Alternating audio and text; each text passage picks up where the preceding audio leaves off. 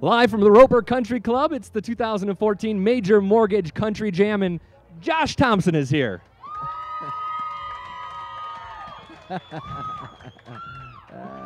Your new song, Wanna Me Gone, it feels like sort of an anthem of sorts, and you have a knack for writing songs that feel like that. Uh, I mean, I try to. I mean, I, I just like things that feel good. You know, it's, if it if it feels good, it goes a long way.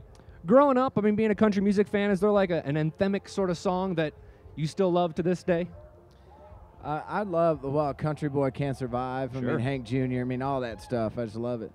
New song is called Turn It Up, and I mean, it really lends itself to this type of crowd. If, you're a fan of breakup songs and party songs, this is your guy. This is it. Yes, that that's my strong suit right there. Break up and partying. Have you been dumped more or broken up with the girl more in your life? I don't know. I it's probably 50-50.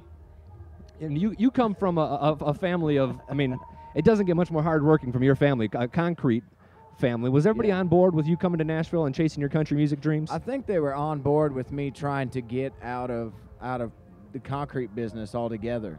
Um, Okay. They they didn't necessarily think that it was going to work. That's got to be a good uh, feeling. yeah. but they were all about me leaving. And the last question Who's on your country Mount Rushmore? Uh, Merle Haggard is the, is the first face on my Mount Rushmore. No doubt. Well, we'll leave it at that. The Roper Country Club at the uh, Major Mortgage Country Jam with Mr. Josh Thompson.